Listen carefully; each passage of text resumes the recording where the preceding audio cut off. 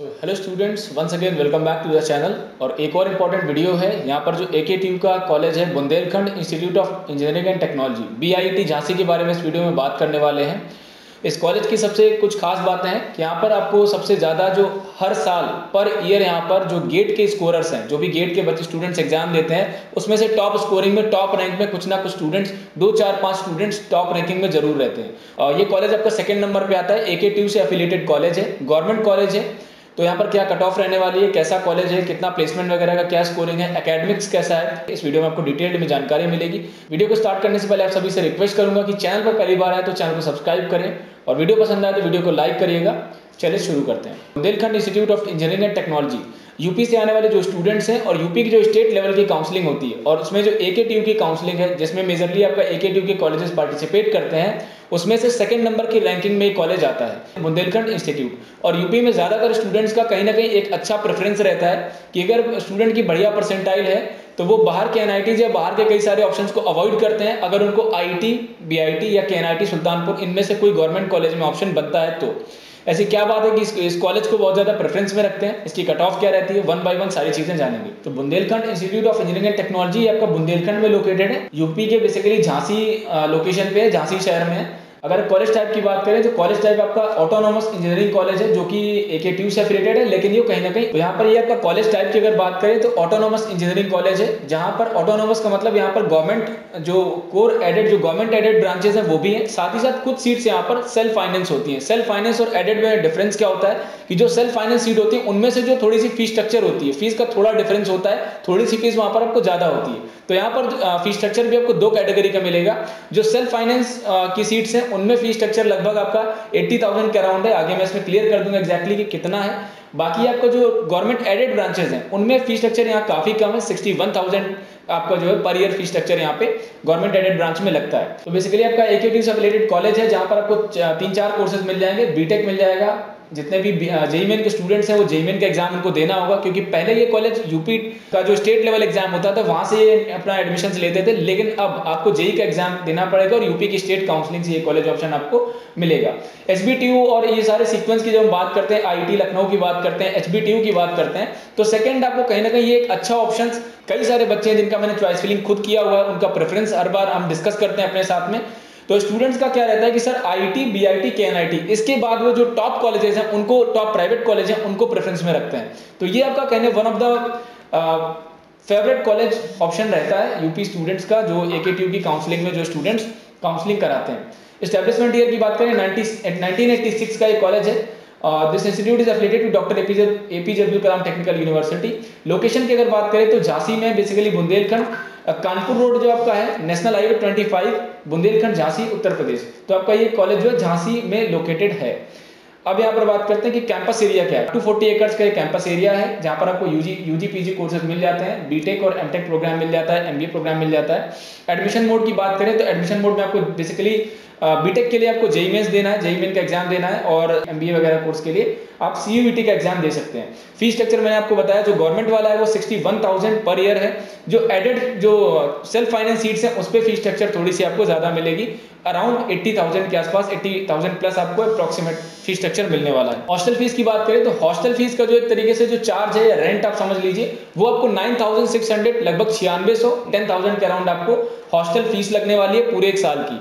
और जो मेस का चार्ज होगा, वो पर सेमेस्टर आपसे चार्ज किया जाएगा, वो आपका सिर्फ़ फोर्टीन थाउज़ेंड होगा। तो कहीं ना कहीं अगर फाइनेंस के बिहार पे देखें तो फाइनेंस के बिहार पे ये बहुत ही अफोर्डेबल कॉलेज है। इन्वेस्टमेंट के हिसाब से आप बहुत कम इन्वेस्टमेंट करने वाले हो और आपको एकेडमिक्स काफ़ी अच्छी मिलने वाली अदर क्या क्या फैसिलिटीज़ आपको यहाँ मिलेंगी? हॉस्टल है यहाँ पर। ट्वेंटी फोर इंटू सेवन आपको इंटरनेट है सेंट्रल लाइब्रेरी है कैंटीन्स है बैंक एंड पोस्ट ऑफ़िस आपको मिलेगा। गेस्ट हाउस वगैरह भी कई बार पेरेंट्स वगैरह विज़िट करते हैं तो उनको गेस्ट हाउस में स्टे करने के लिए यहाँ पे है। स्पोर्ट्स की सारी फैसिलिटीज़ हैं स्टूडेंट एक्टिविटी सेंटर है ऑडिटोरियम एंड सेमिनार हॉल है जिम है। मेडिकल फैसिलिटीज़ आपको मिलती है ट्रांसपोर्टेशन वाली फैसिलिटीज़ भी आपको काफ़ी हद तक अच्छी मिल जाती है। क्योंकि ये मेन नेशनल हाईवे से कनेक्टेड कॉलेज है। अगर हम ब्रांचेस की बात करें मोड ऑफ़ एडमिशन पे भी आएँगे कट ऑफ़ पे भी हम बात करेंगे, क्या कट ऑफ़ आपकी रहने वाली है। अगर ब्रांचेस की बात करेंगे तो ब्रांचेस आपको यहाँ पर ब्रांचेज और सीट इंटेक क्या क्या मिलेगा? सीट इंटेक चार साल का जो बीटेक प्रोग्राम है, उसमें सेवन ब्रांचेज अवेलेबल है यहाँ पर। सेवन ब्रांचेज में सिविल इंजीनियरिंग में 45 सीट्स हैं।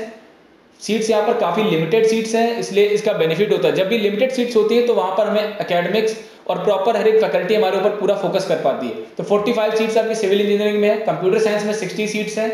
ये अब मैं ऑफिशियल वेबसाइट से डेटा आपको बता रहा हूँ। इलेक्ट्रिकल इंजीनियरिंग में भी यहाँ पर 60 सीटें अवेलेबल है। इलेक्ट्रॉनिक्स एंड कम्युनिकेशन इंजीनियरिंग जो आपको ईसीई ब्रांच है, उसमें भी आपको 60 सीट यहाँ पे मिल जाती हैं। इन्फॉर्मेशन टेक्नोलॉजी में आपको यहाँ पर 40 सीट्स अवेलेबल मिलेंगी।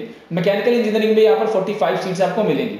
इलेक्ट्रिकल इंजीनियरिंग और information technology are running under self finance scheme तो यहाँ पर जो इलेक्ट्रिकल इंजीनियरिंग और आपका जो इन्फॉर्मेशन टेक्नोलॉजी है वो आपका सेल्फ फाइनेंस में है। इसका मतलब जो आईटी और मैकेनिकल होगी उसकी जो फ़ीस होगी वो आपको 80,000 प्लस पड़ने वाली है। थोड़ी सी ज़्यादा रहेगी। बाकी जो कोर ब्रांचेज है उनमें आपकी फ़ीस रहेगी सिक्सटी वन थाउज़ेंड यहाँ पर कट ऑफ़ की बात करते हैं क्या कट ऑफ़ आपकी रहने वाली है? अगर हम लास्ट ईयर का फोर्थ राउंड का कट ऑफ़ मैं आपको बता रहा हूँ यहाँ पे। ए का जो फोर्थ राउंड का कट ऑफ़ रहा है यूपी स्टेट काउंसलिंग का, वहाँ पर ऑल इंडिया कोटा और होम स्टेट कोटा दो के बिहाफ पे यहाँ पर जो रैंक है। सिविल इंजीनियरिंग की बात करें तो जो होम स्टेट में सिविल इंजीनियरिंग यहाँ पे मिला हुआ है, इक्यानवे हज़ार नौ सौ इक्यानवे में आपको से लेकर नाइनटी नाइन थाउज़ेंड तक आपको यहाँ पर सीट मिली हुई लगभग एक लाख के अंदर आपको सिविल इंजीनियरिंग यहाँ पे मिल रहा है। अब यहाँ पर जनरल की ये कट ऑफ़ नहीं है, ये आपको जनरल ओबीसी एससी एसटी भी हो सकता है। क्योंकि अगर आप बात करोगे भी कंप्यूटर साइंस तो कंप्यूटर साइंस के कट ऑफ़ यहाँ पर फोर्टी सिक्स थाउज़ेंड है।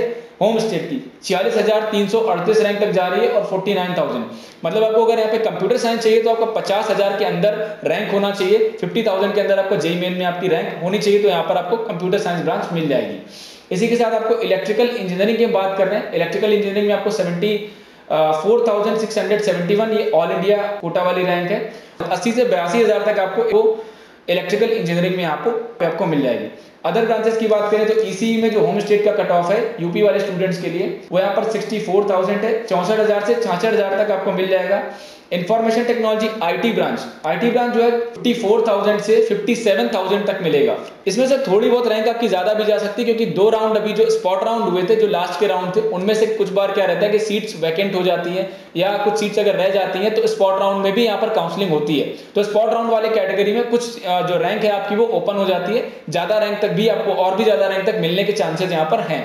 तो मतलब लगभग अगर आपके 60,000 आप यहाँ पे तो 65 या 70,000 तक आप ले सकते हो कि आपको चांसेस रहेंगे कि आपको यहाँ पर सी एस में ऑप्शन मिल जाए। इसके बाद मैकेनिकल इंजीनियरिंग में आपको 86,000 से 91,000 तक यहाँ पर आप होम स्टेट कैटेगरी में अलॉटमेंट हुई है। केमिकल इंजीनियरिंग में 86,000 से 91,000 तक यहाँ भी आपको केमिकल में अलॉटमेंट दिख रहा है। तो ये आपका कट ऑफ़ है। इसके बाद अगर हम प्लेसमेंट्स की बात करें प्लेसमेंट यहाँ पर जितने भी आपकी बाकी कंपनीज़ हैं वो लगभग सारी कंपनीज़ यहाँ पर आती हैं जो इन्फोसिस विप्रो कॉग्निजेंट ये सारी बेसिक कंपनीज़ जिनका एवरेज एवरेज पैकेज चार लाख, साढ़े चार या पाँच लाख का पैकेज जो एवरेज पैकेज ऑफ़र करती हैं। वो सारी कंपनीज़ यहाँ पर विज़िट करती हैं, क्योंकि स्टूडेंट्स कंपनीज़ का भी कहीं ना कहीं मानना होता है कि जो गवर्नमेंट कॉलेज अच्छे गवर्नमेंट कॉलेज में जो एकेडमिक्स है, और उनको जो हार्ड वर्किंग स्टूडेंट मिलेंगे हार्ड वर्किंग कैंडिडेट्स उनकी कंपनी के लिए मिलेंगे, इसलिए यहाँ पर लगभग ज़्यादातर अच्छी कंपनियाँ विज़िट करती हैं। एवरेज पैकेज की बात करें तो लगभग साढ़े पाँच लाख के अराउंड रहती है।